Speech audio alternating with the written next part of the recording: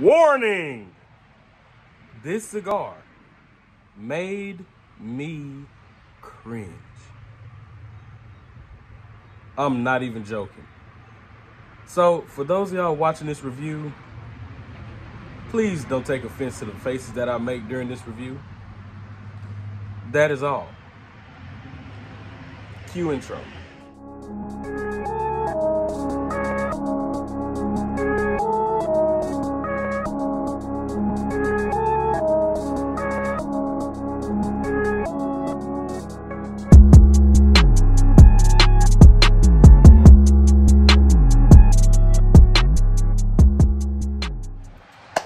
What's going down, Cigar Head crew? All right, man, so check this out, man. Again, I want to give a huge shout out to my brother, Kendall, um, out there in Tucson, Arizona. I appreciate you, brother, because of the fact that when he sent me this package, y'all, when the package that he sent me, um, he sent me a package of cigars that he liked and the ones that he didn't like. And when I first smoked this cigar, um, it was my first time smoking uh, a cigar from the company. I had, uh, I, I, I know about them. I just never got a chance to smoke their cigars because I really thought their cigars are pretty overpriced for what it was. And when I smoked this cigar, I couldn't believe that it tasted the way that it did. And when I looked up the price, I couldn't believe that this cigar was priced at what it was. So I just, I had, I had one more left. So I said I was going to share it with y'all. Y'all get ready. But uh, the cigar that we're gonna be smoking today is the G Turbo. the G Turbo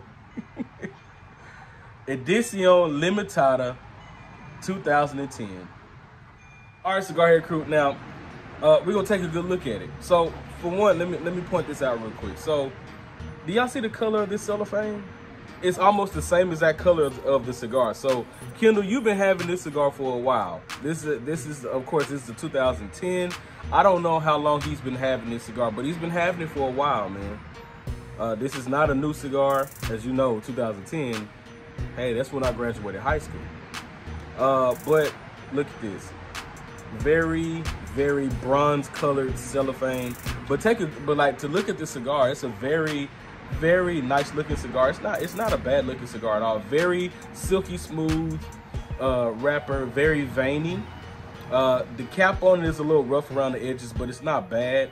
Uh, the bands on it, the bands on it are pretty simple. They're not, they're you know, not nothing too fancy or flashy, but they're not not bad looking at all. Um, but y'all hang on, I'm gonna tell you what's in it. All right, cigar crew. Now this is a six x fifty ring gauge cigar, so this is a turbo. I said a turbo. a Toro. It's a Toro size. This is a Toro cigar. Um, um, the wrapper on here is an Ecuadorian Habano wrapper. The binder has not been disclosed, so you don't know what the binder is in this cigar, but it does have a Honduran and Nicaraguan filler. Let's get a quick smell on it.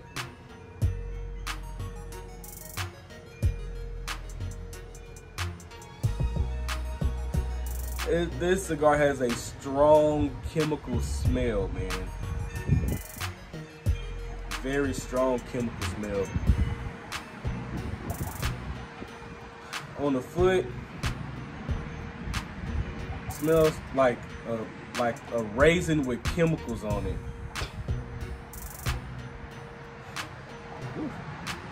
But um, MSRP on this bad boy is $18. $18. But all right, we about to cut it up. We about to get lit. Y'all hang on.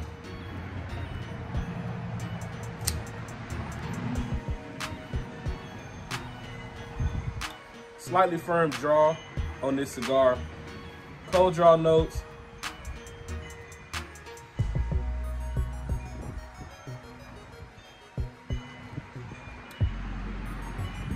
A little sweet but also it it has like it.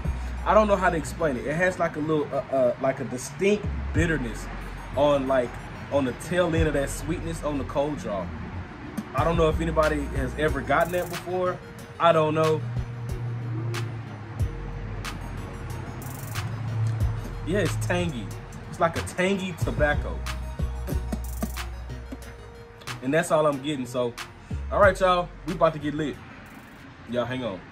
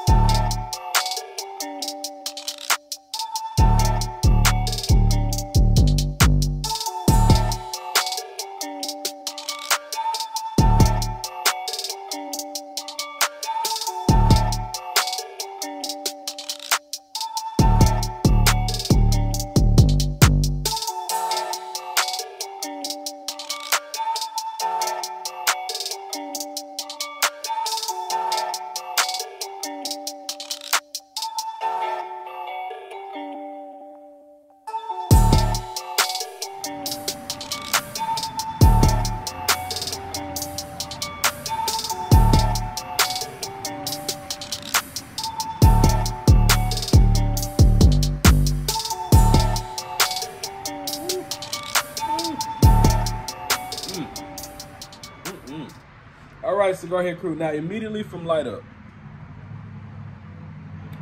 when you first take in the smoke, you get you get a nice you, you you get a nice flavor. It's like a nice little cinnamon, and then it's like it turns into chemical chemical bitterness and floral on the finish. retrohale, you get some black pepper on the retrohale, but it leaves like a it leaves like a chemical floor. Like that's what's coating my mouth. That's what's coating my tongue. Is the finish of that like it's like a floral chemical type of. Mm-mm. Mm. But I'm gonna keep smoking it, and if I have anything else, I'll be back. Y'all hang on.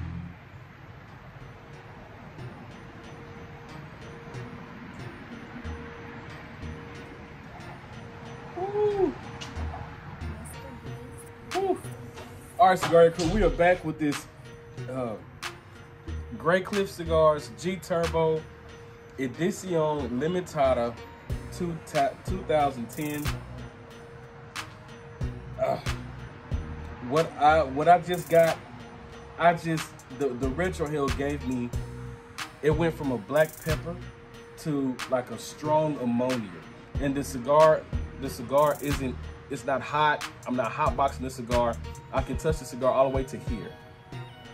The cigar is not hot. It's just it's like the cigar wants to give you a couple like you know you get a couple of good flavor notes every once in a while with this cigar but then it just goes like on the finish it just gets bitter gets minerally it's just not it, it's mm. yeah so yeah i'm gonna go ahead i'm gonna end this here um i'm done I'm not for to torture my palate like that anymore with the inconsistency and the unbalances of, of the cigar. If you like the flavor notes that I described in this cigar, give it a shot. Give it a shot. But other than that, that cigar is $18. It's not worth it for me. If it was a good experience for you, let me know down in the comments. If you've had Graycliff cigars and, you know, you let me know your experience because that wasn't good at all. I'm now I'm about to go wash my mouth out. That wasn't good. I didn't enjoy that. So, that being said, give this video a like, comment, subscribe to the channel, hit that notification button so you know when the next video drops, and I will see y'all in the next review. Y'all remember, stay lit, stay humble, and stay smoky. All right, y'all, I'm about to go wash my mouth out. Y'all be cool, be smooth. Peace.